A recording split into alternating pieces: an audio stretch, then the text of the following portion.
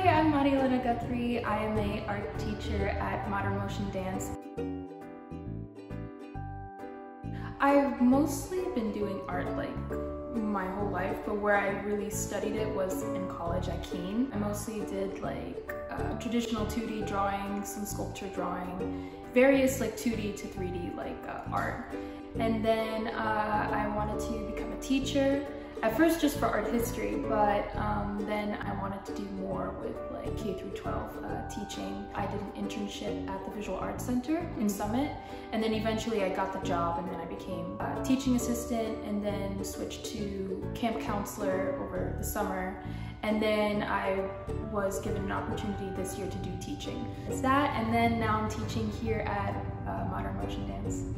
I really love painting. I really love acrylics and uh, gouache, mostly 2D. I feel like it's how I started, so I'm more used to it. But I do like sculpture. That's another 3D uh, uh, medium that I like and enjoy using. I try to incorporate both into my work, so overall I like working with 2D painting, but I don't mind branching out.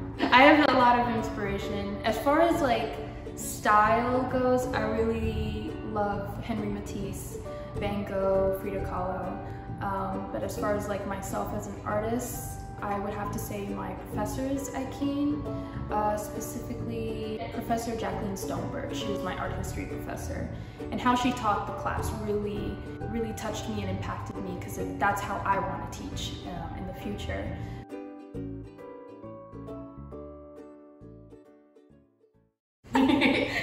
olarak.